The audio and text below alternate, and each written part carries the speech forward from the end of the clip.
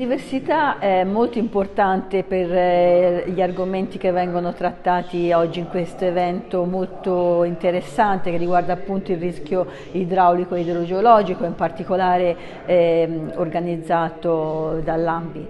Ma eh, l'università ha un ruolo importante perché ha il ruolo appunto di conoscere questi fenomeni che attraverso appunto la conoscenza eh, possono portare poi a trovare soluzioni per affrontarli nella maniera migliore. La conoscenza indubbiamente è l'elemento fondamentale, la conoscenza porta alla consapevolezza e quindi alla responsabilizzazione anche.